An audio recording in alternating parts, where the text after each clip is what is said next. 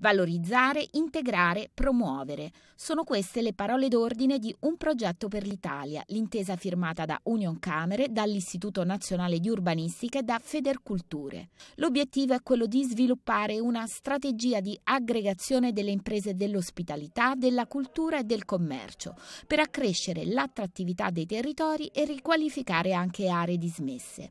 Cultura ed economia rappresentano per il presidente di Union Camere, Ivan Lobello, il cuore dell'accordo.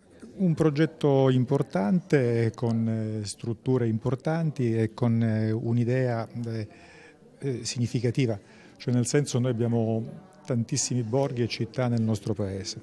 Sono realtà importanti, molto, molto forti e che mettono dentro tante questioni, la cultura, gli spazi, i flussi. L'intesa soddisfa il presidente dell'Istituto Nazionale di Urbanistica, Silvia Viviani.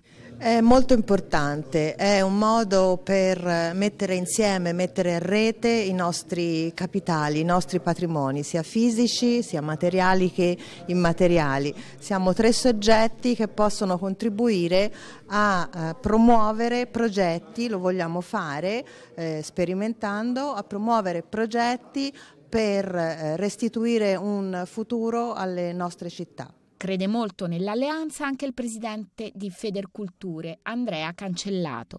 Il senso di questo progetto sta nel mettere le imprese culturali e le imprese creative al centro del processo di rigenerazione urbana.